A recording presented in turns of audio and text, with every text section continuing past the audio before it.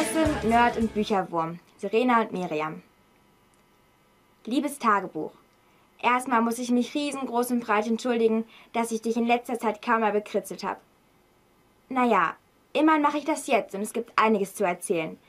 Schließlich bin ich auf einer neuen Schule, einem Internat, hallo? Es ist alles so, wie ich es mir vorgestellt habe. Sehr entspannt.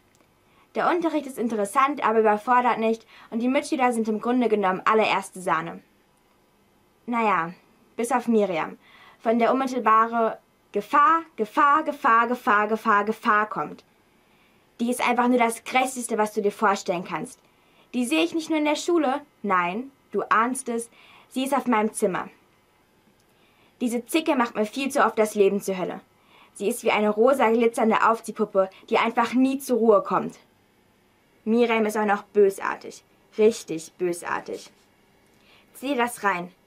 Miriam hat sich doch letztens tatsächlich darüber erbost, dass in der Cafeteria irgendeine Ananas seit drei Tagen abgelaufen war. Ich nur so, ja, yeah, so muss es sein. Nicht gleich alles hier nur wegwerfen.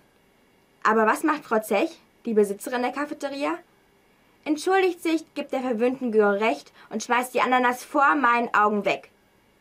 Du siehst, auch hier kennt die Dekadenz der Menschen keine Grenzen. Ist scheinbar wirklich ein allumfassendes Problem. Ich muss jetzt auch mal wieder hoch. Es ist schon richtig spät und ich verschlafe sonst morgen. Miriam, genau, richtig, die Prinzessin, wird mich jedenfalls nicht pünktlich wecken, wenn ich meinen Wecker nicht höre. Im Gegenteil, eher noch ausmachen, damit ich zu spät komme. Blöde Kuh. Warst ähm, vom Tempo her generell so am oberen Rand? Die sagt nur, dass wir uns die Cafeteria dann teilen müssen und beide Partys gleichzeitig. Gib dem auch noch ein bisschen eine Farbe da auch dazu. Das okay. findest du unglaublich, dass man dir sagt, äh, Entschuldigung, da hat noch immer Geburtstag, ihr müsst euch das irgendwie teilen und gleichzeitig. Mhm. Mach mir da unten noch wieder ein bisschen was, das hatten wir schon im Coaching oben besprochen gehabt. Papa hat mir ein wunderschönes Kleid von der Fashion Week geschickt. Das ist wirklich wunder, wunder, wunderschön. Damit hätte ich bestimmt auch mit ein paar Jungs flirten können. Hm. Hätte. Ja, das Kleid musste mir noch ein bisschen mehr im Bild entstehen lassen, dass ich mir wirklich als Zuhörer vorstellen kann, wie toll das aussah.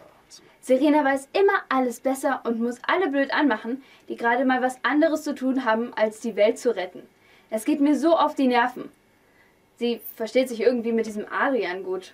Der ist auch komisch. Er ist ein richtiger Nerd und sieht auch so aus. Hat immer so eine eklige, verfilzte Mütze auf und redet auch immer so schlau. Wahrscheinlich halten sie sich gegenseitig für die intelligentesten oder so. Aber ich lasse mir das nicht mehr gefallen. Ich hatte für meinen Geburtstag als erste die Cafeteria angefragt, um dort zu feiern. Und dann kommt Serena irgendwann und fragt Frau Zech auch. Und die sagt nur, dass wir uns die Cafeteria dann teilen müssen und beide Partys gleichzeitig stattfinden sollen. Wer die meisten Gäste zusammenbekommen würde, der würde eben auch den größeren Bereich zum Feiern bekommen. Papa hat mir ein wunderschönes Kleid von der Fashion Week geschickt. Es ist wirklich wunder, wunder, wunderschön. Damit hätte ich bestimmt mit ein paar Jungs flirten können. hätte. Serena, die Schnepfe, klatscht mir die Geburtstagstorte, die Frau Rottbach für uns gemacht hatte, voll auf das neue Kleid. Ich hätte so heulen können. Habe ich auch, als Serena dann weg war. Und die ist dann, im Gegensatz zu mir, schön auf die Party gegangen. Ich war aber so sauer, dass ich den Kalender, den Serenas Mutter für sie gemacht hat, einfach zerrissen habe. Als ich dann zwei Monate zerschnetzelt hatte, kam das ans Licht, was diesen Geburtstag unvergesslicher als alles andere machen wird. Ein Babybild von ihr.